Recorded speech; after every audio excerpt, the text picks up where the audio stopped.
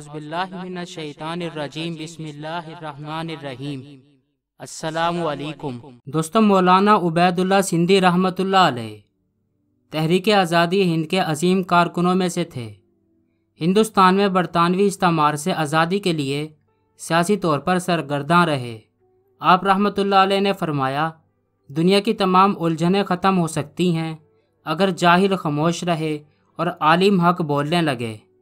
آپ رحمۃ اللہ علیہ نے مزید فرمایا، انسانیت سے محبت کرنا در حقیقت اپنے خالق سے محبت کرنا ہے۔ انسان دوستی خدا پرستی کا لازمی نتیجہ ہے۔ مولانا عبید اللہ سندھی رحمۃ اللہ علیہ اکثر فرمایا کرتے تھے کہ اللہ تعالیٰ جس قوم پہ عذاب کا فیصلہ فرماتا ہے، تو اس کا سیاسی شعور سلب کر لیتا ہے۔ دوستو، آج کی ویڈیو میں ہم امام انقلاب، تحریک ریشمی رومال کے روحیں رواں مولانا عبید اللہ سندھی رحمۃ اللہ علیہ کی زندگی کے بارے میں جانیں گے۔ واللہ عالم اللہ بہتر جاننے والا ہے۔ ہمارے ساتھ بنے رہیں۔ تو چلیں شروع کرتے ہیں۔ اگر آپ نے ابھی تک ہمارا چینل سبسکرائب نہیں کیا تو ابھی سبسکرائب کریں۔ اور بیل آئیکن کو کلک کر کے ہماری لیٹسٹ ویڈیوز کے بارے میں اپڈیٹ جانیں۔ سبسکرائب کیجیے اور ہم آپ کو لیے چلیں گے آپ کی فیوریٹ ویڈیو کی طرف۔ فرینڈس امام انقلاب۔ حضرت مولانا عبید اللہ سندھی رحمۃ اللہ علیہ، بارہ محرم الحرام بارہ سو نواسی ہجری بامطابق دس مارچ، اٹھارہ سو بہتر عیسوی، بروز جمعۃ المبارک و سیال کوٹ کے قریب ایک گاؤں چیاں والی میں اپنے والد کی وفات کے چار ماہ بعد پیدا ہوئے۔ دو سال کی عمر میں آپ کے دادا کا بھی انتقال ہو گیا، تو ان کی والدہ انہیں لے کر اپنے والدین کے گھر جام پور ضلع ڈیرہ غازی خان چلی گئیں۔ اٹھارہ سو اٹھتر میں چھ سال کی عمر میں جام پور میں تعلیم کا آغاز ہوا۔ آپ رحمۃ اللہ علیہ نے اپنے تعلیمی عرصے میں ریاضی، الجبرا عقلیدس اور تاریخ ہند سے متعلق علوم بڑی دلچسپی سے پڑھے۔ سن اٹھارہ سو چوراسی میں بارہ سال کی عمر میں ایک نو مسلم عالم عبید اللہ مالیر کوٹلی کی کتاب تحفت الہند پڑھی۔ اس کتاب کو پڑھنے کے بعد آپ نے اسلام قبول کیا اور اس کے مصنف کے نام پر آپ نے اپنا نام عبید اللہ رکھا۔ سن اٹھارہ سو اٹھاسی میں سید العارفین حضرت حافظ محمد صدیق بھر چونڈی رحمۃ اللہ کے ہاتھ پر بیت کی۔ انہوں نے حضرت سندھی کو اپنا بیٹا بنا کر توجہ باطنی ڈالی۔ اس اجتماعی سالے کی برکت سے مولانا سندھی کے قلم میں معاشرت اسلامیہ راسخ ہو گئی۔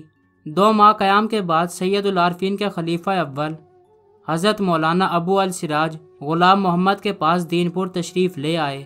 آپ کے استاذہ کرام میں مولانا عبد القادر رحمۃ اللہ علیہ مولانا خدا بخش رحمۃ اللہ علیہ، مولانا احمد حسن کانپوری رحمۃ اللہ علیہ، مولانا حافظ احمد رحمۃ اللہ علیہ محتمیم دارالعلوم دیوبند، حضرت شیخ الہند مولانا محمود حسن رحمۃ اللہ علیہ، حضرت مولانا رشید احمد گنگوئی رحمۃ اللہ علیہ جیسے جید المکرام شامل تھے۔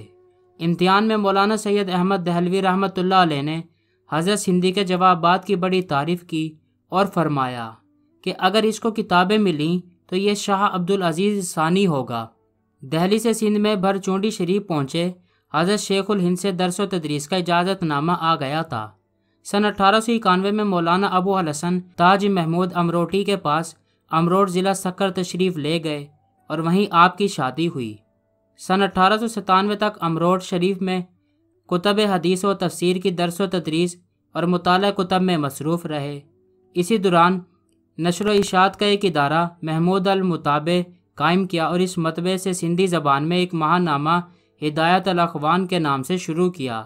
سن اٹھارہ سو ستانوے میں حضرت شیخ الہند نے انہیں سیاسی کام کرنے کا حکم دیا۔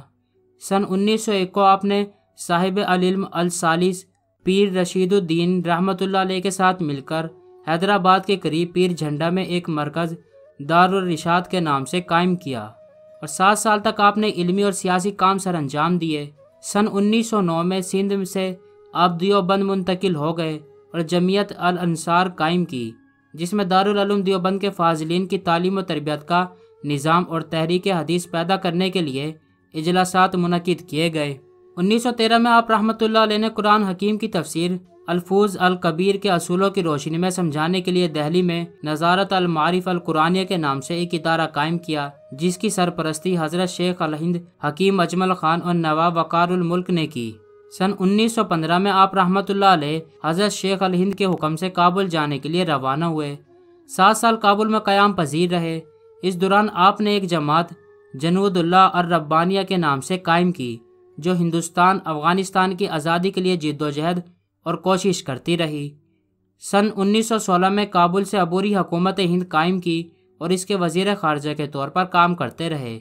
سن انیس سو بائیس میں آپ نے کانگریس کمیٹی کابل بنائی اور اس کے صدر مقرر ہوئے، جس کا الحاق انڈین نیشنل کانگریس نے اپنے اجلاس میں منعقد کیا۔ انیس سو بائیس میں ترکی جانے کے لیے براستہ روس روانہ ہوئے۔ اس دوران ماسکو میں سات ماہ قیام فرمایا۔ سن انیس سو تیئیس میں آپ انقرا ترکی پہنچے۔ یہاں چار ماہ قیام فرمایا اور عصمت پاشا روف بک وغیرہ انقلابی رہنماؤں نیز شیخ عبدالعزیز جاویش سے ملاقاتیں ہوئیں۔ استنبول میں تین سال قیام فرما کر یورپ کی تاریخ کا بڑی گہری نظر سے مطالعہ فرمایا۔ سن انیس سو چوبیس کو ہندوستان کے مستقبل کے سیاسی اور معاشی امور کو حل کرنے کے لیے آزاد بر صغیر کا دستوری خاکہ جاری فرمایا۔ استنبول سے اٹلی اور سوئٹزرلینڈ تشریف لے گئے۔ کچھ عرصہ جدید اٹلی اور یورپ کی سیاسیات کا مطالعہ کیا۔ سن انیس سو چھبیس میں مکہ المکرمہ تشریف لائے اور دینی تعلیمات کی روشنی میں قومی جمہوری دور کے تقاضوں کے مطابق ایک پروگرام ترتیب دیا۔ انڈین نیشنل کانگریس، جمعیت علماء ہند، مسلم لیگ اور دیگر قومی جماعتوں نے حضرت سندھی کی ہندوستان واپسی کے لیے کوششیں شروع کی سن انیس سو انتالیس کو آپ کراچی کی بندرگاہ پر اترے۔ حکومت سندھ کے وزیر اعظم اللہ بخش سومرو نے امائی دین کے ساتھ آپ کا استقبال کیا اور کراچی میونسپل ہال میں آپ کے اعزاز میں استقبالیہ دیا، جہاں آپ رحمۃ اللہ علیہ نے ایک اہم اور مار کا آرا خطاب فرمایا۔ آپ کی واپسی پر جمعیت علماء صوبہ بنگال کے اجتماع کلکتہ کا آپ کو صدر مقرر کیا گیا۔ آپ نے شاہ ولی اللہ رحمۃ اللہ علیہ کے فلسفے کو سمجھانے کے لیے دہلی، لاہور، کراچی، پیر جھنڈا اور دین پور میں بیت الحکمت کے مراکز کھولے۔ جہاں نہایت سرگرمی سے نوجوانوں کی تربیت فرماتے رہے۔ انیس سو چوالیس میں بیماری کے باوجود حضرت سندھی کراچی سے حیدرآباد میر پور خاص اور نواب شاہ ہوتے ہوئے گوڈ پیر جھنڈا میں مدرسہ دارالرشاد میں قائم فرما ہوئے۔ آپ آخری دم تک پروفیسر محمود سرور، مولانا غلام مصطفیٰ قاسمی، مولانا بشیر احمد لدھیانوی اور اپنے دیگر نامبر شاگردوں کو تاریخ، سیاست اور قرآن علوم و معارف سے آراستہ کرتے رہے۔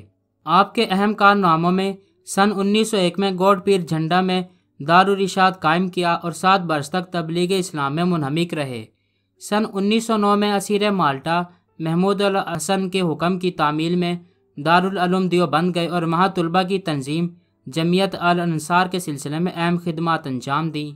سن انیس سو بارہ میں دلی نظارت المعارف کے نام سے ایک مدرسہ جاری کیا، جس نے اسلامی تعلیمات کی شاعت میں بڑا کام کیا۔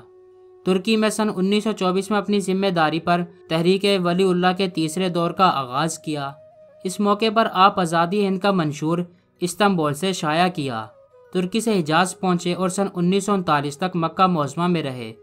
اسی عرصے میں انہوں نے بر صغیر کے مسلمانوں کے حقوق اور دینی مسئلے کو تحریروں اور تقریروں کے ذریعے عوام تک پہنچایا۔ آپ نے تحریک ریشمی رومال میں سرگرم حصہ لیا۔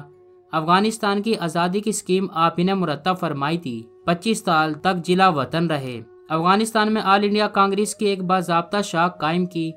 ساری زندگی قائد حریت کی حیثیت سے اسلامی اور سیاسی خدمات انجام دیتے رہے۔ آپ کی تصانیف میں ذاتی ڈائری، خطبات و مقالات، شور و آگاہی، شاہ ولی اللہ رحمۃ اللہ علیہ اور ان کا فلسفہ، فکر ولی اللہ کا تاریخی تسلسل قرآن شعور انقلاب قرآن کا مطالعہ کیسے کیا جائے؟ مجموعہ تفاصیر امام سندھی، شاہ ولی اللہ اور ان کی سیاسی تحریک تفسیر المقام المحمود شامل ہیں۔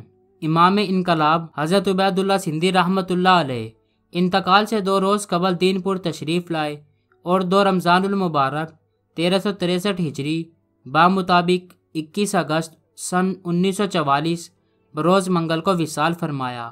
آپ رحمۃ اللہ علیہ کا مزار حضرت غلام محمد دین پوری رحمۃ اللہ علیہ کے قریب دین پور کے قبرستان میں مرجع خلائق ہے۔ اللہ تعالیٰ نے اپنی خاص نعمتوں سے مالا مال فرمائے اور ہمیں ان کے نقش قدم پر چلنے کی توفیق عطا فرمائے۔ آمین۔ دوستو، میں ہوں آپ کا ہوسٹ دوست عظیم الظفر اور آپ دیکھ رہے ہیں ازمی وائس دوستو، آج کی ویڈیو کے بارے میں آپ کی کیا رائے ہے؟ کمنٹ باکس میں اپنی رائے کا اظہار ضرور کیجیے گا۔ دوستو، انشاءاللہ اب ہم اپنی نیکس ویڈیو تک کے لیے نئے خواہشات کے ساتھ آپ سے اجازت چاہیں گے۔ خوش رہیں، خوشیاں بانٹیں، جئیں اور جینے دیں۔ اپنا اور اپنے چاہنے والوں کا خیال رکھیے۔ لانگ لی پاکستان لانگ لی پاک آرمی اللہ ہم سب کا امی و ناصر ہو۔ فی امان اللہ۔ گڈ بائے دوستو، یہ ویڈیو آپ کو کیسی لگی؟ اچھی یا بری؟ اپنی رائے کا اظہار کمنٹ باکس میں ضرور کریں تاکہ ہمیں پتہ چل سکے ہم جو محنت کر کے ویڈیوز بنا رہے ہیں۔ آپ کو پسند بھی آ رہی ہیں یا نہیں؟ ویڈیوز کو لائک، کمنٹ یا شیئر کرنے کے آپ کے بالکل بھی پیسے نہیں لگیں گے۔ البتہ ہماری حوصلہ افزائی ضرور ہوگی۔ اور اگر ویڈیو میں کوئی خرابی ہے تو ہم اس کو دور کر پائیں گے۔ شکریہ۔